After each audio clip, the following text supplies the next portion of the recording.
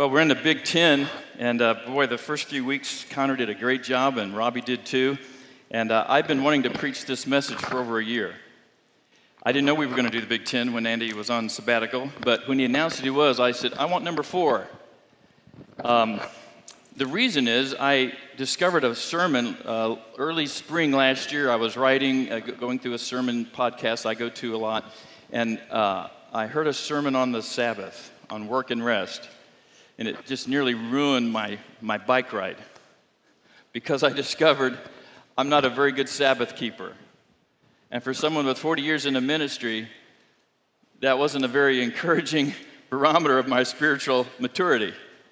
I've probably listened to that, I don't know, eight or nine times this last year. I've sent it to everybody in my formation groups and so forth. Um, and so I want to share with you some things that I have learned this last year as I have tried to become a better Sabbath keeper. And I hope that uh, our text today will resonate with you just as these others have uh, and the six more that are yet to come. But I think it's important for us this morning to come to this commandment with some fresh eyes. You know, typically, most of us, when we hear the Sabbath, we think, oh boy, it's been a great, hard week. I can't wait to get to the weekend. Oh man, I got to keep the Sabbath. I got to go to church. Now, you don't have to raise your hand. But if you have ever felt that feeling about Sunday, that is not what the Sabbath is about. So I got good news. That's not what the Sabbath is about. So you have a chance to rethink, reformat some of your uh, neurological stuff up there, and get a hold of what I believe the Sabbath meant for us. Let me point out some things contextually that you may not have noticed, uh, but if I can draw your attention to it, you can meditate it and think about it this week. This commandment is actually a bridge between the ten. The first three are, of course, getting God right, worship only the Lord, don't have false idols, don't take his name in vain. It's all about get your life under God's authority. Get that clear. And then we're going to, the next six sermons will be about relationships with those primary people in our life, what to do, what not to do. This one here, you might say, is the commandment, yea, the gift to us. It's a gift. It's it, at the least a benevolent command. It's the one that has commentary. You know, thou shalt not commit adultery. Not much commentary there. The Sabbath has two more verses of commentary, and we'll get into that in just a minute. But it's important that we think of the Sabbath as actually a gift that most of us don't think of as a gift. We think of it as oh, one of those Sunday duties messes up my day. I could be out there golfing, I could be shopping, I could just be on the veranda, wherever. So I hope that you will jettison this sort of keeping the Sabbath as going to church. Keeping the Sabbath might include going to church, but it includes a whole lot more. And in just a couple of texts, I think I can help you see what that more is. And if you get your heart and mind around it, like me, you're probably going to feel convicted. I'm not apologizing. You know those Reese Cup commercials? They talk about Reese's, they go, Sorry, not sorry, Reese's. well, Sabbath, I'm not apologizing if you get convicted because there is a rest, the Hebrew writer says, waiting for the people of God. But they often don't take advantage of it. Many of us don't. I'll speak for myself, but I don't think I'm far off where most of us are, that we probably violate this commandment as much as any of them. Mostly without knowing it, due to our very limited view of Sabbath keeping as going to church. Um, but as we shall see, it involves a lot more. I want to share some facts with you before I read the text. Fact, th- this is stuff I pull from a variety of sources. Americans are the most workaholic people on the globe, perhaps in all of human history. The information age has not set us free, but it's actually shackled us to a work we can never seem to get away from. Long ago, our culture passed up Germany and then Japan for hours worked. According to the International Labor Conference, we work 137 more hours a year than the Japanese, and they are really busy people. 137 hours is almost three weeks. Well, it's actually a little more than three weeks. The Brits, we work 260 hours more than the British. That would be about six weeks more a year. That's a month and a half. And of course, for our French brothers, it's about 500 more hours than they do. That's like a whole three months off. They have a sabbatical every year just by taking three months off. That's why their productivity is kind of low too, but we won't go there. Um, the Bureau of Labor Statistics report that we have increased the average productivity of the American worker by 400% since 1950. Now, I don't know if it's good or bad to say, but this I grew up in the 50s. I was born in 58, so this has happened in my lifetime. If that were the case, we should all be only working 11 hours a week. Or our lifestyle should be four times greater than it was in 1950. And certainly we would say there's been some good improvements since the 50s for sure. Uh, maybe some of those improvements haven't always been so helpful. But in any case, our productivity is not giving us rest. The promised chip, the computer that was going to make life easy. Ha! What a sales job. It's not made it easier, it's made it exhausting. Consider these headlines America's workaholic culture needs to end. Melissa Gates at the World Economic Forum, September 2017. Here's one from February. Derek Thompson in The Atlantic. The religion of workaholism is making Americans miserable. A final one from June 2, 2014 in the New Republic. I'm, I'm kind of getting magazines from all over the, the spectrum. Workaholism in America is hurting the economy by Bryce Covert.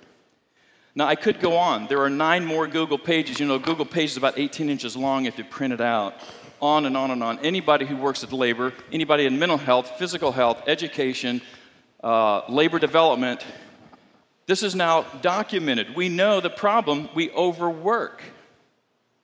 So clearly, we have a serious need in America as believers and as citizens to relearn the deep meaning of Sabbath as taught and exemplified by Jesus. It's amazing to me that in all these articles I perused for quite a while, our culture has a clear, articulated understanding of a problem. But I only found one article from 2003 that actually suggests the solution. Back in 2003, a Jewish woman who worked for the New York Magazine, her name is Judith Shulevitz. She wrote an article, this is 16 years ago and it says, Bring back the Sabbath.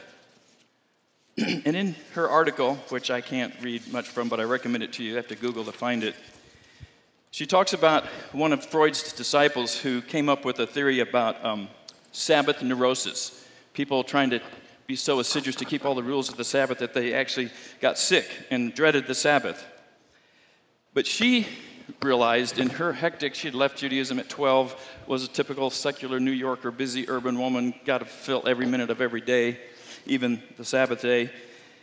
And what she began to realize was she had a different problem than fearing the Sabbath.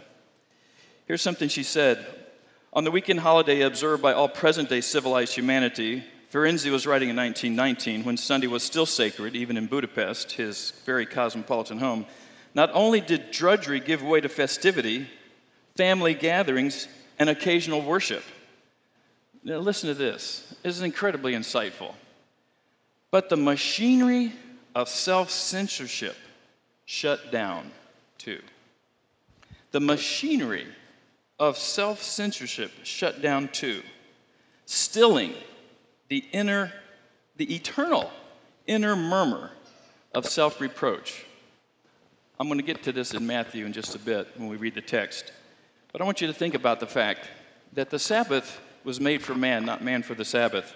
It's a command as well as a benevolent gift.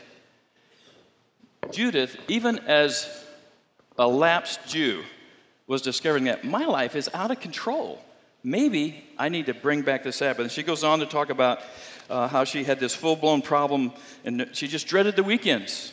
And so she came after a while um, I got lonely and did something as a teenager profoundly put off by religion I could never have imagined doing. I began dropping in on a nearby synagogue. she talks about the fact uh, I sat in the back of this Disneyfied sanctuary built very much in European style that I had no interest in praying, which I hardly remembered how to do. What I wanted to do was listen to the hymns, which offered the uncanny comfort of songs heard in childhood. For 84 years since Ferenczi identified his syndrome, which bears a striking resemblance to what is now called workaholism, as it's become the norm, and the Sabbath, the one day in seven dedicated to rest by divine command, has become the holiday Americans are most likely never to take. Let me read to you from Exodus chapter 20, verse 8 through 11. Remember the Sabbath day to keep it holy. Six days you shall labor and do all your work, but the seventh day is a Sabbath to the Lord your God. On it you shall not do any work, you or your son or your daughter or your male servant or your female servant or your livestock or the sojourner who is within your gates. For in six days the Lord made heaven and earth, the sea, and all that is in them, and rested on the seventh day. Now there's something. God Almighty resting. we have to come back and see what that means. Therefore, the Lord blessed the Sabbath day. We could preach a whole series on God's blessings. God blessed the Sabbath day and made it holy. If I can add some commentary, for those with eyes to see and ears to hear and wisdom to embrace.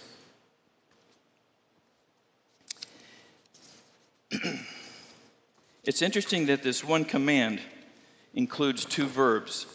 And I'm going to break those down because I really think that is the way we get our arms around keeping the Sabbath. The first one is remember the Sabbath. I want to talk about why ways we forget the Sabbath, what we forget, and what Jesus teaches us about the Sabbath, and then we'll go to the keep side of the Sabbath. Why are we inclined to forget the Sabbath? The verb remember is a clue to this inclination. We are inclined to forget. Now, don't, don't sit here and get all righteous on me. Adam and Eve, before the fall, forgot not to eat of the fruit of the tree. That wasn't even five chapters, it was one chapter. The first couple, untainted by sin, forgot the one most important thing to remember. Do you think we're any less culpable now after the fall?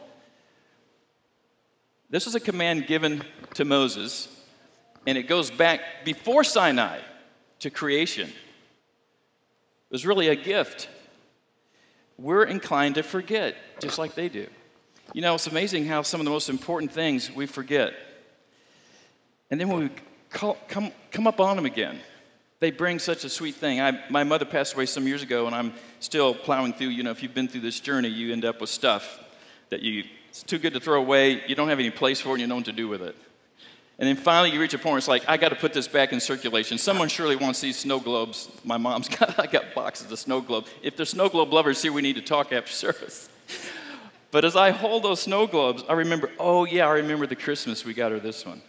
Oh, I remember we were on vacation and she saw that and she just had to have it and we, we got her that one. And the remembering that comes from things. And the Lord has blessed one day in seven. And He wants us to be able to come and remember, oh, it's Sabbath. Oh, I'm finally here. Sabbath, rest. Now, ways we forget the Sabbath command, um, we're easily deceived. Adam, of course, was deceived. Cain was deceived, messed up his offering, ended up killing his brother. We'll come across that command later. Abraham, remember Abraham's problem? He couldn't remember his wife from his sister and feared that he was going to have be killed. And his wife, he said, "Well, she's my sister. better keep the brother around." Twice he did that, and his son Isaac did the same thing with Rebekah. Sins of the fathers, you know. It's easy for us to be self deceived in well meaning, even religious observance and matters. We're no different than those guys. King Saul did it when he was commanded to kill all the Amalekites and he messed up. David, when he didn't go out to war and he looked at Bathsheba and committed adultery. Do you really think we're much different than them? We forget the Sabbath. We substitute counterfeits for the Sabbath. One is busyness. If I just keep busy enough, I won't become aware of that inner murmuring that maybe this last week mattered or maybe it didn't. That self reproach that feels like we've never done enough. Maybe you're, you're, one of those people who's wholly balanced and blessed. God bless you. You should be up here with me telling people how good it is to be that way. Most of us, I have find, don't need condemnation. We got a conscience in our head that is constantly condemning us. Now, the Lord doesn't do that. The Lord comes and affirms us. His Spirit convicts us so He can remind us wait a minute, wait a minute. I've died for you. I've done a finished work on the cross. We have a wholly different opportunity in Him. We become the righteousness of God, which means the rest of God, resting in Him. But, but it eludes us. We forget about it. We substitute it. Instead of taking our rest, we stay busy. Or maybe even some of our folks watching this morning at home. I can totally relate. Some of you have had such a hard week, you're crashing. I've had you, I've had you tell me that, boy, Pastor, last week. We just stayed home, we tuned in, we were so exhausted. I believe it. I totally do. And then sometimes we're just distracted. Please give me anything but silence and quiet and peace and solitude. To hear myself think. Yesterday I had my earplugs in as I was cleaning the yard before Daniel came with his son and fished in the pond. I had to get the weeds out of the way, make a good impression on my brother. And when I was bending over with these plugs, I could hear my heartbeat. You know, it could be that some things we need to do in this culture is put some spiritual earplugs in so that we might rediscover that spiritual heartbeat that God wants us to feel and hear and be in touch with. He knows the hair on my head. I'm pretty sure He knows my blood pressure right now and yours and your spiritual condition, your restlessness, your lack of silence, your exhaustion, your pain. Well, what, what do, is it that we forget about the commandment? It's pretty simple. We forget, in spite of it being a benevolent gift, it's a command, not a suggestion. It's one of the Big Ten. Now, what that tells me, since we can make clear case that this is a gift from God, God realizes our ability to forget and to be distracted. He has to command us to do a good thing. That should underscore the significance of the Sabbath command to our well being. It's not just about church going. It was established, as I said, in creation. It was Sinai in Exodus 20. After four years of being slaves, they didn't get a day off. They didn't get to go to Sabbath in Egypt, I'm quite sure. At least after Joseph was gone, they were, they were slaves. And one of the things that the Decalogue gave them back, as, as well as a moral code, was you're going to have a sabbatical every week, a time to remember, a time to rest. Give your donkey a rest, give your servants a rest, give the sojourner who's with you a day to remember, to look back at what God has done, to tell our children about it, to look forward to the next week, to realize someday, you know, the Messiah will come. For us, someday he will return. So we have the same opportunity to reflect back on the history of salvation, our history of salvation, where we are, where we're going. Whoever does that anymore? One of my favorite things to do is to calm people down and get a hold of their wrist and say, Give me a spiritual diagnosis of where you are. Most people can't do it. They haven't taken the time to do it. They don't have a regular time to say, I mean, they can tell me they're exhausted and anxious, I can see that. But we don't know how to do the self soul care for which the Sabbath, at least, was partly created to allow us to do. And to have the kind of community that can help us. Now, this command, this gift, was modeled by Jesus. On the seventh day, God completed his work that he had done, and he rested on the seventh from all his work. Then God blessed it and sanctified it because he rested from it. And in Luke 4 16, and Jesus came to Nazareth where he had been brought up as was his custom, so he was a churchgoer, he entered the synagogue on the Sabbath.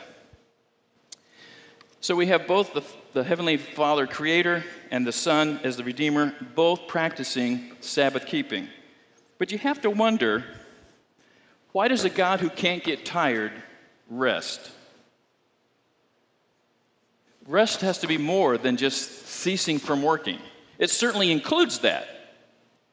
But for God to rest, the clue is in the creation account. And God separated the light and the darkness. And He said, That was pretty good day's work. That was good. Let's get up tomorrow and see what. Now we have day and light. Next day, well, let's have plants and trees. Let's put birds in the air. And day after day, he'd say, That was really good. Then He made man in His own image. He goes, Ah, That was very good. And then when he made woman, the English, my brother will tell you, does not do justice to what the Hebrew says. The men went berserk. Whoa! God, you did really, really, really good with this woman. That's a hint, men. You need to say that at lunch today. Just remind your wife, whoo, God, you did really good with this woman. Have you ever taken time, and do you have a time on your Sabbath when you look back and say, that was really good? I have to be careful today because a friend of mine's here. I'm gonna, I don't want to embarrass her, but this week I got to do true religion. What's true religion? To remember orphans and widows in their need. And I got to help a widow this week. I'm not telling you who, I don't want her to tell you. I had the pleasure, the pleasure of using my hands to do something for a widow. It brought me deep satisfaction. And I know it made her really happy too, because it's been annoying her like crazy, like a pebble in her shoe, and I can totally relate to that. You know, I'm embarrassed to say, probably a year ago, I would have been too busy to do that. What have you not done this year? Because in the lack of really Sabbathing, you don't make space for prayer. Too busy to do small group. I don't have time to read the Bible. I'd like to read that thing on marriage and become a better husband, but I don't know when I'm going to do it. And on, on and on. We just we can find reasons not to do the beneficial things God has promised with a blessing. It's just like tithing. You know, the reason we, most of us who tithe, we get our $100 this week and we take 10 and we give it to God and then we go live on the 90. And we live fine and life is good. We get, but we don't know how God helps us because of that discipline, but it works. And he says the same thing I want one day, I want one 24 hours. You give it to me, and I promise to bless you and to make your life different.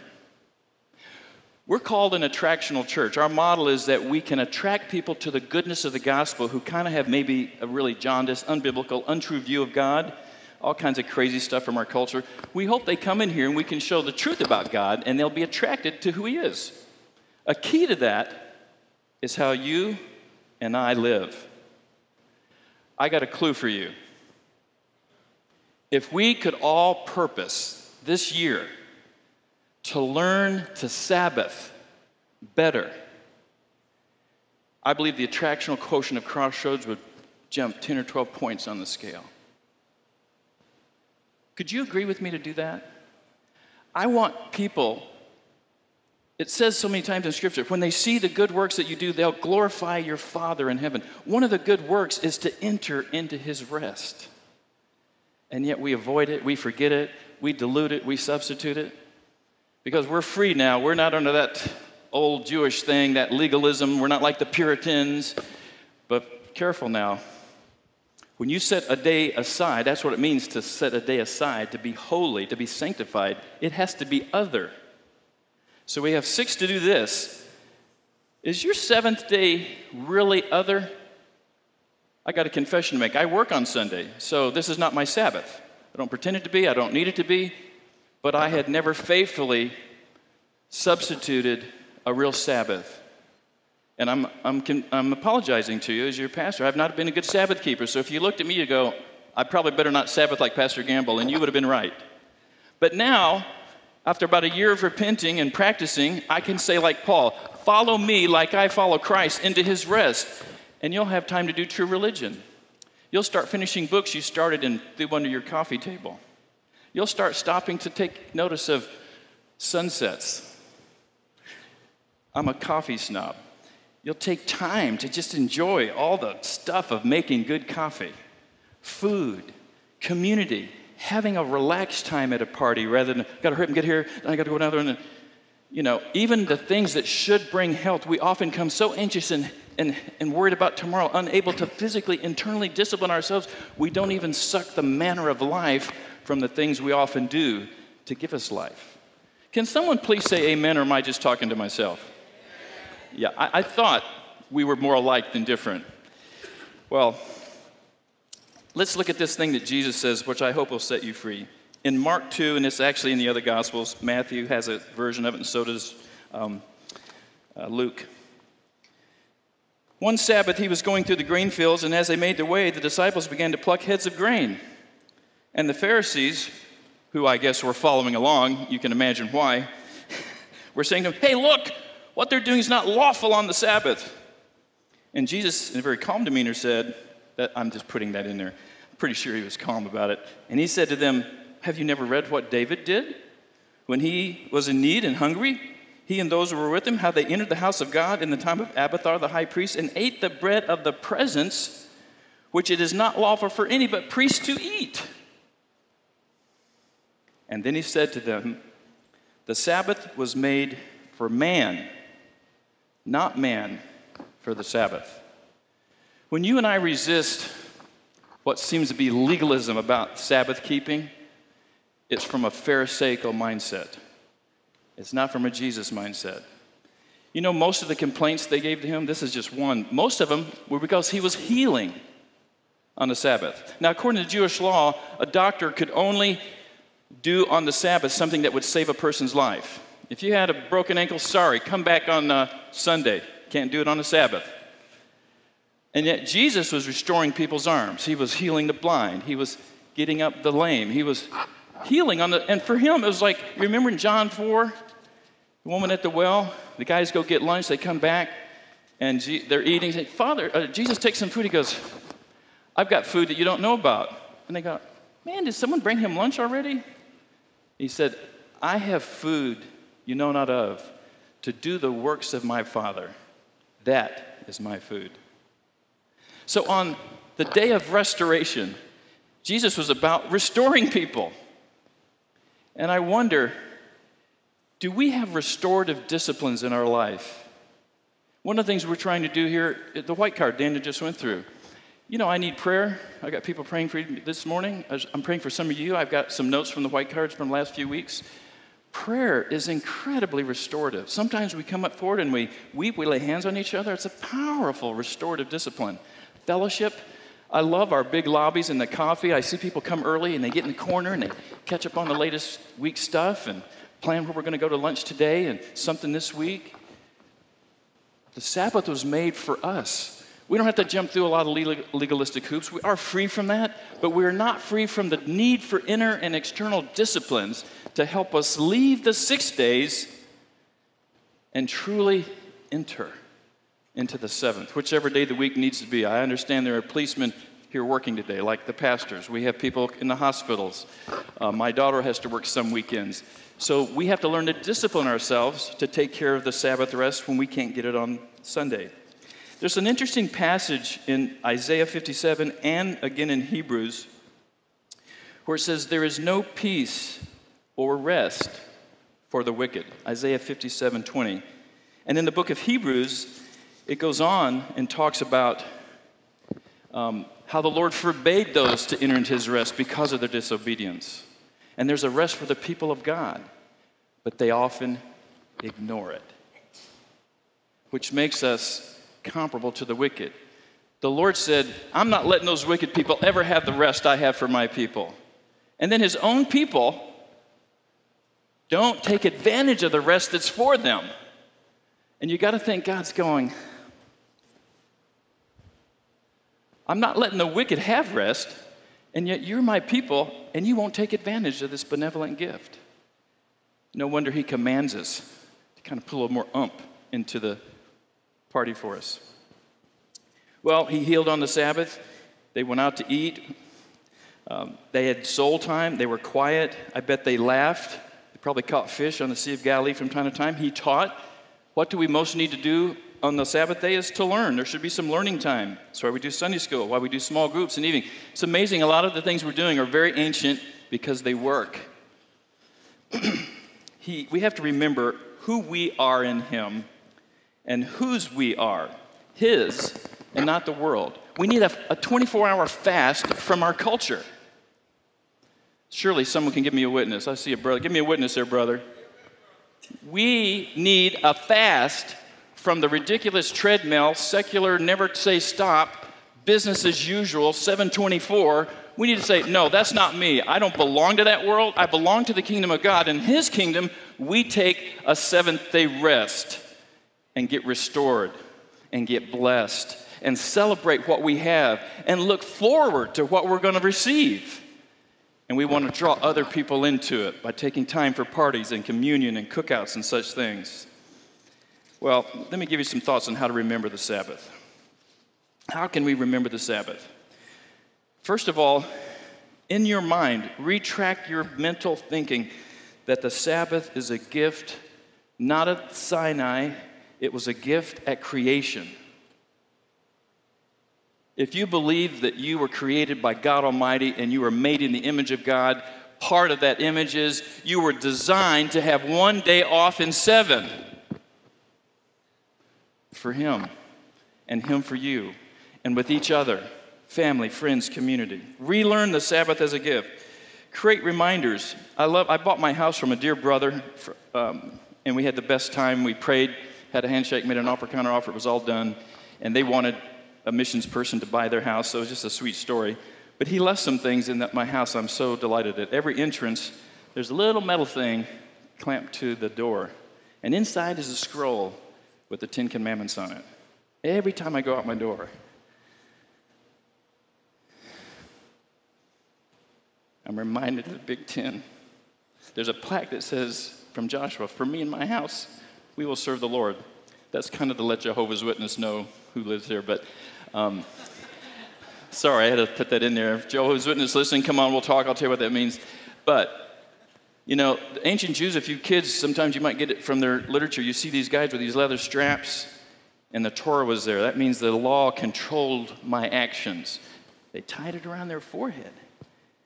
And the law controlled their thinking. And they put it on their doorpost. The law controlled this little sanctuary called home, where God and His will reigns.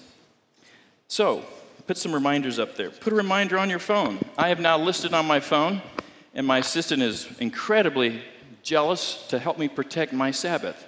And sometimes I can't get it all in one day, so I'll sometimes do a 12 hour Sabbath and a 12 hour because that's the way my schedule works. But when I can, as often as I can, I take a 24 hour Sabbath.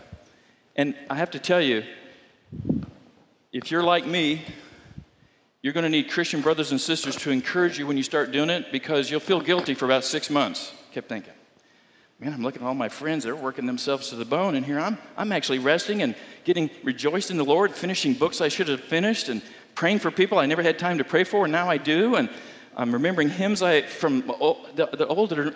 All of a sudden, I'm just enjoying the Lord, and I'm kind of feeling guilty, but it'll pass. You'll quit feeling guilty yourself, and you'll start praying and feeling sorry for them. Nothing, I tell you, almost nothing our culture needs more now than people who know how to rest and know how to bring other people to that rest. First of all, in relationship with Jesus, and then in this gift called Sabbath. And then the last thing I would say to help you remember is plan your Sabbath all week long. Andy's on sabbatical, as you know, and next year I'm, is my um, sabbatical. And I'm already planning my sabbatical. And the reason is part of the joy of looking forward to that time of finishing another book and writing a curriculum, visiting family, resting, playing, doing stuff in my house, seeing people I've not seen. The planning and looking forward to it is part of the, part of the joy. And all week long, are you planning your Sabbath? Hey, we should get a dinner together. Let's plan to have dinner with these folks on Sunday night. Hey, maybe we could do this, get ready on Saturday, and make Sunday morning a unique thing. Maybe watch online somewhere with some lost neighbors who are open to seeing what we do here at Crossroads. You can plan your sermon, your Sabbath all week long. And you can put it on your phone reminder. Somehow redeem that little aggravation. All right, got to quickly run through this and then we're going to sing a wonderful hymn. The first verb is to remember because we're wont to not. The second one is to keep, to keep it holy, which means set apart. We've already kind of talked about that. Let me give you some inner and external disciplines that I think become necessary to keep the Sabbath once we begin to remember it and what it was meant for. Adopt the principle of sabbatical into your life. Go back and read in Leviticus and Deuteronomy, the second law. After they went through the 40 years because they didn't go into the promised land, now their kids are ready to go in. Deuteronomy, second law And you get into the details and you realize the seventh year the land was held fallow, and the Jubilee year all debts were forgiven. You know what that did for God's people? I realize we're a capitalist economy and we don't have the mecha- mechanics to necessarily make that happen, but we can say we trust in the Lord for our provision. Yeah, we work, we save, and we should, but we are not running pell mell into the future, working as hard as we can because we think we'll never have enough. I really pray for my immigrant brothers and sisters. This is a common blind spot among immigrants. When they come here and they've come from such loss and they're sending money back home, they just don't take time for rest. But all of us can get caught up in that. We need to build Sabbath into our thinking about our, what we have and not be so focused on accumulating of wealth, but trust in the Lord. Adopt your own blue laws. I won't go into detail on this, but there was a time when we had blue laws.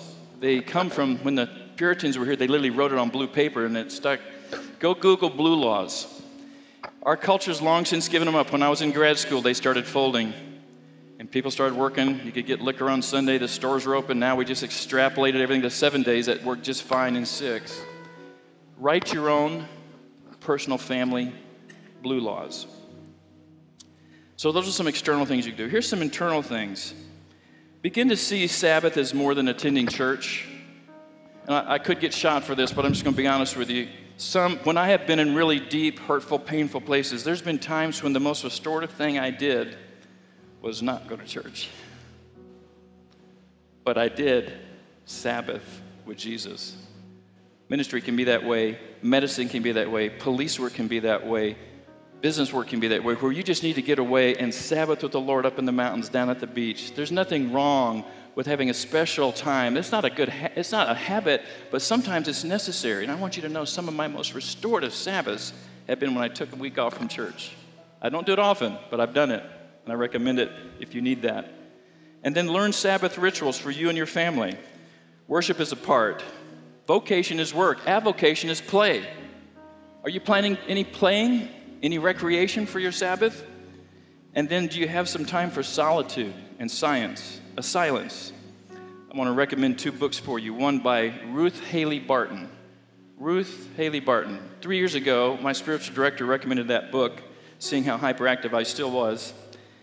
And I began reading that book, and the best part about the book is called Invitation to Solitude. At the end of every chapter are very simple, practical exercises and over, I took my time. I read like a chapter at a time. I didn't read straight through it. And I found myself finally learning, now longing to get to that time of the week I've set aside to be quiet. I'm so confident now when the Lord speaks to me because I'm not busy talking and I'm not busy thinking. It's taken me months of intentional effort to shut up in God's presence so he would know I'm giving him undivided attention. And when we do, he has a lot to say. And I know you want to hear it. Much of it is affirmation, much of it is encouragement, much of it is healing and direction and wisdom. I pray that you will learn to do that. A second book is a book simply called Sabbath by Dan Allender. It'll take you a while to get through it, but it'll be well worth your trouble. Be accountable for Sabbath time. Most of us need someone to say, hey, Daniel, are you really keeping your Sabbath? And let's talk, get, let's get into some detail. Hold me accountable. Maybe it's with your spouse, maybe it's with your small group. There's some jobs where it's impossible to keep a Sunday Sabbath that doesn't get you off the hook. It's one in seven. Remember, we're in the kingdom, we're free, we're not legalistic, but that gift is there and you need to claim it. And find or look into building a Sabbath community. This is what our small groups hopefully are, what Crossroads can be a part of. in closing, I've got this beautiful hymn, and it goes with what Tyler said earlier from Psalm 4. One day in the presence of the Lord is better than a thousand of the joys without him. We're going to sing Is It Well With My Soul? Can I ask you a really simple question? Is it well with your soul?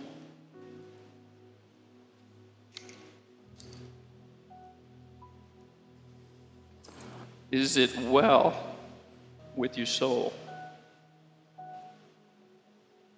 The world knows the problem, and our Father knows the medicine.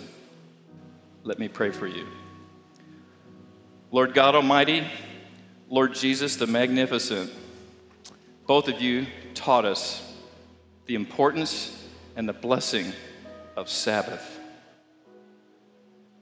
Today, we really have a repentant heart right now because we know we're not the best Sabbath keepers we should be, or the best Sabbath keepers we could be.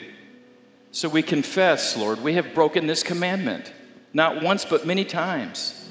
Would you forgive us right now, Lord? We just together say, God, have mercy on me, a Sabbath breaker. But Lord, have grace on me to become the Sabbath keeper you've always wanted me to be. And let us leave here without shame and guilt, but with resolve and hope and encouragement to keep the Sabbath holy. We ask this in your name. Amen.